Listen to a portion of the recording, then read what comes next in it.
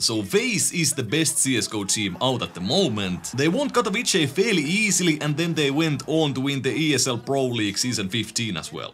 They pretty much have three superstars in Broky, ropz and Twistzz. Then they also have Rain who is able to pop off at pretty much any time. And let's not forget karrigan who is the best in-game leader at the moment. So we are gonna react to their setups and I will rate them as well. And of course we will also check out their grip styles and mouse settings. Quickly before we start, let's remember that FaZe is sponsored by SteelSeries and you will see that with some of the gear. Starting with Twistzz, the Canadian superstar, he's using the SteelSeries Prime Neo Noir which is a little bit bit surprising. Not the best mouse in the game by any means, the Prime series is struggling with click latency. I also do not like the click feeling, but that's pretty much personal preference. For mousepad, he is using the Vaxee PB, which is of course an insanely good mousepad. I suspect that the silicone base will be very good for professional gamers, because it should stick to almost any surface, so there shouldn't be any issues with the mousepad moving around on your desk at LAN tournaments. His monitor is the Zowie XL2546K, which is of course a very very good monitor, Pretty much every CSGO tournament is using a BenQ Zowie monitor, so the pros should be using these as well. And then for keyboard, he is using the Apex Pro, which is of course one of the better keyboards for gaming, but not as good as the Wooting 2AG of course. Then on to mouse settings and Twistzz is using 400 DPI and his sensitivity is 1.4,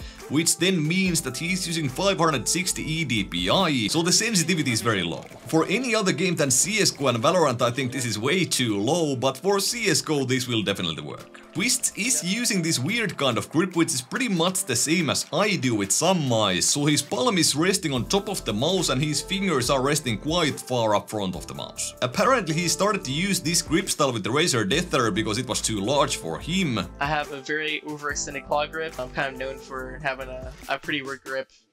You see my middle finger is over the right mouse button and my pointer finger is always hovering above mouse one. It's not just because I'm in the main menu or anything, I actually, it's always like this.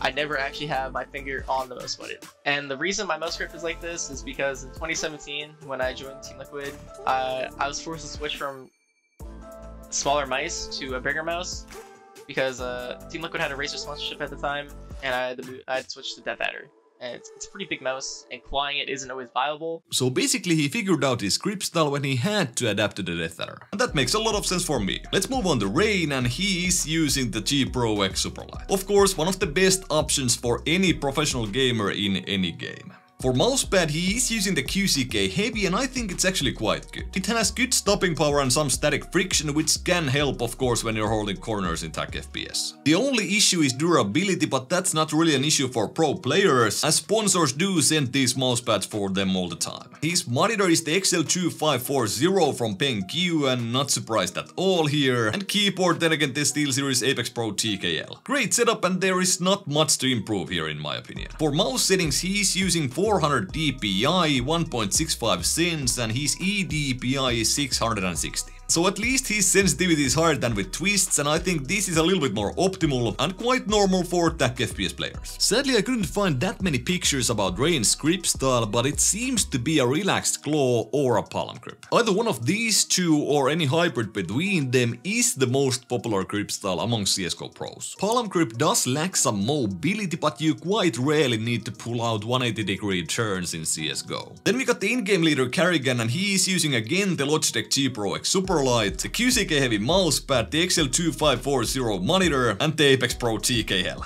So the exact same setup as with Rain, of course, again a very very good setup. And for mouse settings, again we have 400 DPI, 1.6 sens, and eDPI is almost the same as with Rain.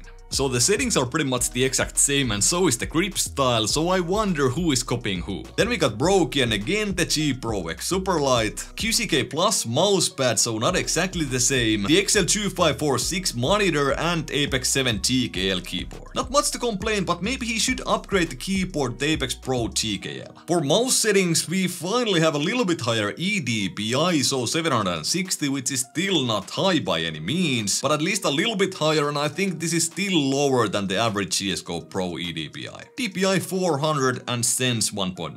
Broky seems to be using quite standard kind of palm grip even with the GPX. Again, hard to tell from these pictures, but it seems to be palm or a very relaxed claw with a lot of palm contact. Lastly, we got the new guy on the roster, so ropz, and he's absolutely insane. He's the only guy in this lineup to use the EC2, which is of course a very popular CSGO mouse. For mousepad, he's again using a QCK and the XL2546K monitor. And for keyboard, the Apex 7 TKL, maybe again he should think about upgrading the Apex Pro TKL. But it wouldn't make a massive difference of course. His EDPI is a little bit lower than with Broky, but it's still higher than with Twistzz at least. ropz seems to be claw gripping the EC2, but again with some pictures it looks more like a relaxed claw and then with others it seems more like an aggressive claw. His pinky and ring finger are quite curled in a few of these pictures, so I would say it's a claw grip myself. And that's it for the setups, settings and grip styles, let's do a bit of a conclusion. Nothing to really complain about the setups, they could upgrade the mouse pads, but we have to remember that SteelSeries is sponsoring FaZe. And it most likely means that they are forced to use at least some SteelSeries gear. Mousepad and keyboard are the easiest bets with SteelSeries.